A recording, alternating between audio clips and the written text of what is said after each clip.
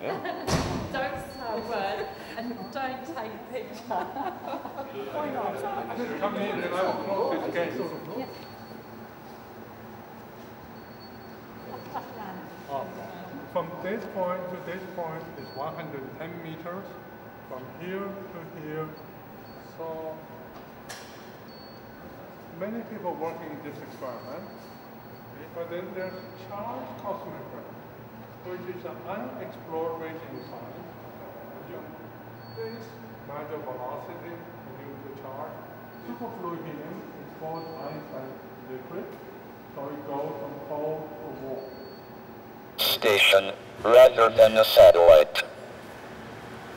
Uh, because the weight and the power required. All publicity is good. Thank you very much. Thank you. Thank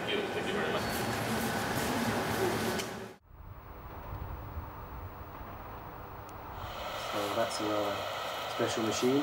After that comes the PS. The PS is our still our the heart of the, of the, of the circuit. Um, and there was another reason, which was if you put everybody together, you would need fewer people to run the machines. So that's uh, how we actually paid for the, the, uh, the, the uh, separate areas. We call them islands, um, and these are uh, take the current, which will continue to flow.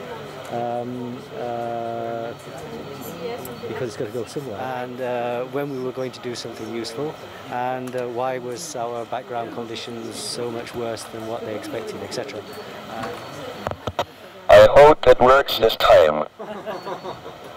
Professor Hawking, in 2006 you predicted that the LHC would have a high chance of finding the Higgs boson, a 50% chance of uh, finding dark matter, and very, very low chances of making a black hole. Do you still think this is the case? I see no reason to change my predictions.